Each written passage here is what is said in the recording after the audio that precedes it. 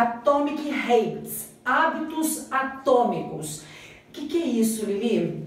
O que, que são esses hábitos atômicos? Você acabou de dizer que não é para fazer nada com pressa, que você tem que fazer uma coisa de cada vez, pequenas conquistas levam a grandes transformações. É exatamente isso. Pequenas conquistas levam a grandes transformações. Olha que coisa mais interessante.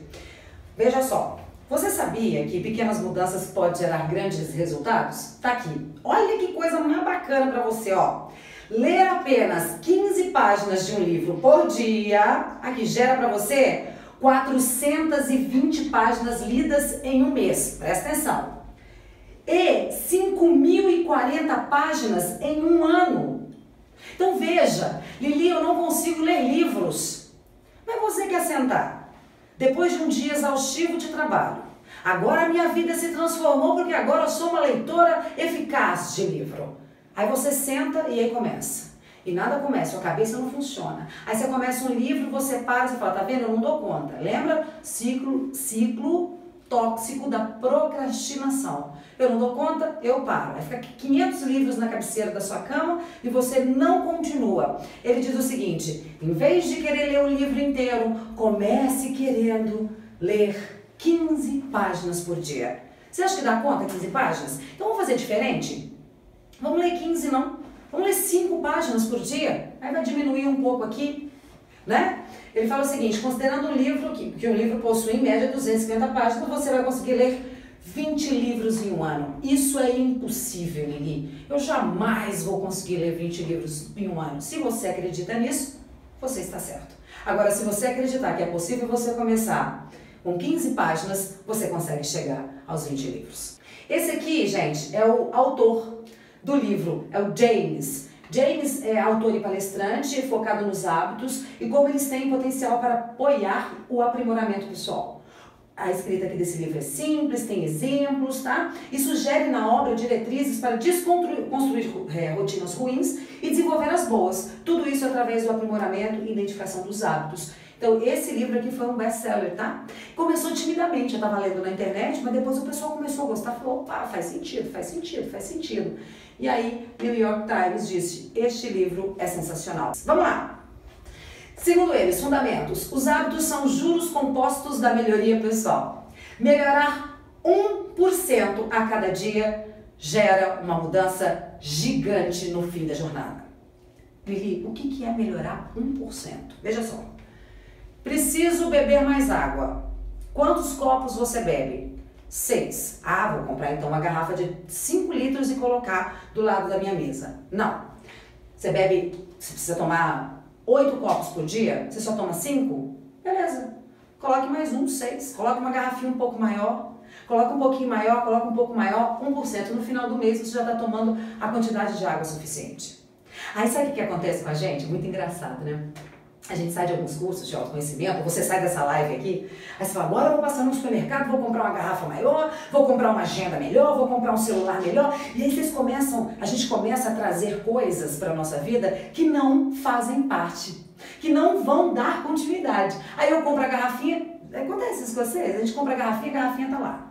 Não, mas eu fui num curso que o rapaz falou que se eu pendurar uma caneca no pescoço, fica dois dias com a caneca no pescoço. No, no, terceiro dia a caneca cai pro chão que você não quer nem ver. Não porque ele falou que eu tenho que comprar um, uma, um palmer, planner, não sei o que, para escrever, para dizer, aí você compra, cola na parede, fica lá aquele negócio. Ai, que agora eu vou malhar. A partir de hoje ele falou, vou malhar todos os dias. Vou comprar bicicleta ergométrica para pôr na minha casa, cabide. Vou comprar esteira, gasto 800 reais. Cabide. Quer começar a fazer alguma coisa? Suba a escada. Você mora no quarto andar? Suba a escada. 1%. Você vai começar a se sentir melhor, vai, vai começar a ter mais dopamina, né, que é a sensação do prazer, e eu estou conseguindo, e que legal, daqui uns dias você está acordando 7, 8 horas da manhã fazendo uma caminhada boa. 1%. Vencedores e perdedores, essa é boa, possuem os mesmos objetivos. O que diferencia são os sistemas utilizados por eles para alcançar esses objetivos. Vencedores e perdedores possuem os mesmos objetivos. Na minha linguagem, se você achar que você consegue, você está certo. Se você achar que você não consegue, você também está certo. Aqui, ó. o que diferencia uma vencedora, porque eu me considero uma vencedora de uma pessoa que é na cabeça dela ou ela está tendo ações de perdedora, são sistemas que eu utilizo. Gente, as quatro leis da mudança do comportamento segundo o nosso autor de Atomic Habits. Primeira lei, torne o hábito óbvio. Essa, gente, eu até anotei aqui para vocês. É, para vocês entenderem o que, que é tornar o hábito óbvio. Ele chama de gatilho. O que, que vai gatilhar na tua cabeça? Ele fala o seguinte: falamos da água, vamos falar da água de novo. Ele fala que para a gente tornar o hábito óbvio, a gente tem que mudar e transformar o nosso ambiente. Ele diz: se eu preciso beber mais água, eu vou colocar garrafinha de água perto, eu vou colocar é, as coisas mais próximas de mim, eu vou colocar eh, mais copinho próximo do meu, do meu trabalho, né, da minha mesa de trabalho. Então eu vou transformar o ambiente para que meu hábito se torne óbvio. Ele diz: quero ler mais, então eu vou colocar mais livros próximos de mim. Vou deixar ali mais pertinho para que eu possa vê-los. Eu vou adquirir novos livros. Eu vou entender, ele diz. E aí agora por minha conta e risco, tá? Só agregando valor. Se eu sou mais visual, auditivo ou sinestésico. Se para mim é muito mais interessante pegar um livro, ouvir um livro, escrever alguma coisa, um pensamento que o sinestésico ele precisa sentir. O visual ele precisa ver, então ele pode ler. O auditivo pode ser muito bom para ele ouvir os nossos pocketbooks. Ouvir, colocar um fone de ouvido e ouvir ele ali contando a história de um livro. Tá? Torne o hábito óbvio. E ele diz o seguinte: pro contrário, é a mesma coisa. Para você deixar um hábito ruim, também deve deixá-lo óbvio. Olha como que ele fala.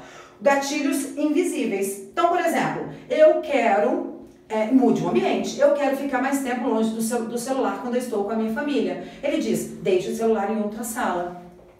Eu quero parar de deixar a soneca transformar a minha vida. Então, quando eu coloco meu celular para despertar, em vez de eu colocar ele embaixo do meu travesseiro, ele diz: coloque na cozinha. Ele vai começar a tocar, a partir daí você já levantou, daí você não volta mais para a cama. Ele fala: qual outro hábito que você quer tirar? Lili, eu quero tirar o hábito de comer demais na hora do meu almoço. Ele diz: então, gatilho invisível é tire a quantidade de comida da sua frente, aquela quantidade de coisa, comece devagar arrancando aquele monte de panela, ou você vai num lugar onde põe aquele monte de comida sobre a mesa.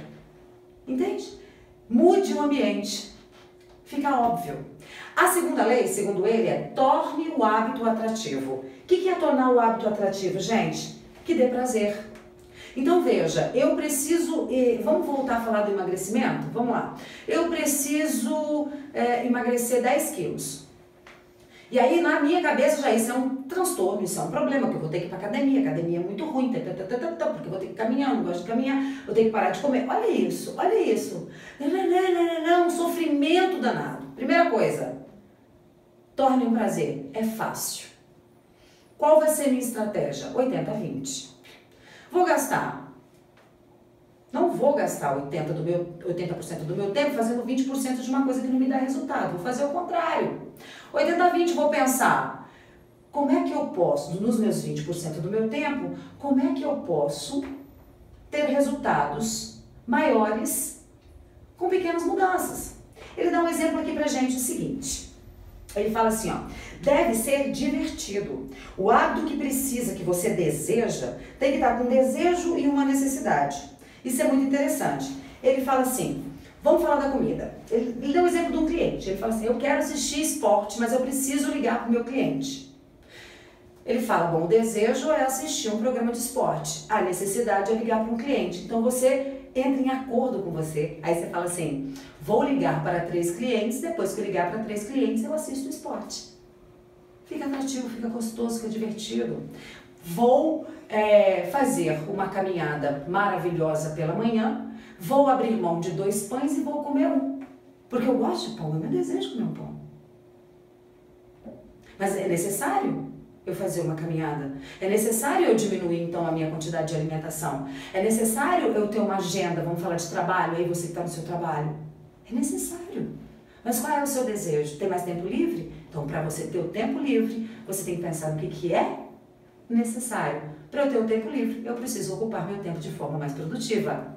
A terceira lei, segundo ele, opa, Torne o hábito fácil, não pode ser difícil.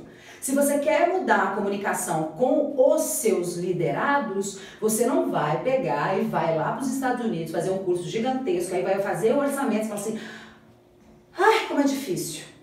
Não. Você vai começar a ler outras coisas. Você vai entrar, pode ser no nosso, na nossa plataforma, onde tem vários cursos de liderança, tem o meu curso de oratória, tem o meu curso de atendimento, enfim, tem várias coisas. Você vai começar devagar, ler um artigo, começar a se perceber, conhecendo as suas emoções.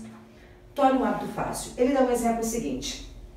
Em vez de você colocar assim, eu preciso ler mais livros, ele coloca do lado, ler mais livros passa a ser ler uma página do livro. Começar a estudar para o concurso, olha o hábito fácil, abrir o meu caderno. Ter mais organização, ele diz, adquirir uma agenda. É, ter melhor comunicação assertiva, eficiente e eficaz com meus liderados, ele põe, vai passar a ser observar mais como eu falo, um passo de cada vez. O último, a última lei, torne o hábito satisfatório. O hábito, gente, tem que ser satisfatório. Por quê? Porque senão você não mantém. Né? Nós já falamos aqui de várias leis que têm sido trabalhadas, vários, uh, várias vertentes do aprendizado, né? Um deles é o que eu falo quando você repete por 20, 20 e tantos dias, ou 21 ou 30 dias, você já tem aquilo como um hábito novo. Seja bom, seja ruim. Lembra dos perdedores e dos vencedores? Você escolhe onde você quer estar. Né? Então ele tem que ser um hábito satisfatório para você continuar. E aí a dica do, do James é que tenha repetição. Mas para ter repetição, nós precisamos comemorar. Nós podemos ter isso de duas formas: a automotivação, ou seja, parabenizando a você mesmo pelas pequenas conquistas. Disse em um meu programa que vai hoje ao ar no site do jornal aqui de Juiz de Fora, que eu tenho um programa lá que é Tribuna de Minas, é, eu falei sobre automotivação e comunicação. E eu disse o seguinte: se você tem uma meta de 100 clientes por dia e hoje você conseguiu falar com 99, comemore quando comparado com ontem que você só atendeu 50. Então comemore as suas conquistas diárias e repita os comportamentos que deram certo. Fica claro isso para vocês? Então, se a sua meta, para ela ser uma meta satisfatória, você tem que fazer. Então, se você vai subir as escadas do seu apartamento, que você comemore. Hoje eu vou subir só dois andares, amanhã eu vou subir três andares e começa a comemorar. Uma dica que ele dá é você vai começar o hábito da, de ir para academia, que você faça um xizinho dizendo eu fui e comemore. Porque aí tem a repetição. Aí fala o seguinte: o nosso cérebro, aqui minhas colinhas, tá, gente? Os nossos cérebros, eles, o nosso cérebro precisa de recompensa imediata. Então, recompense seu cérebro com o que você tem de melhor, que é a sua comunicação interna.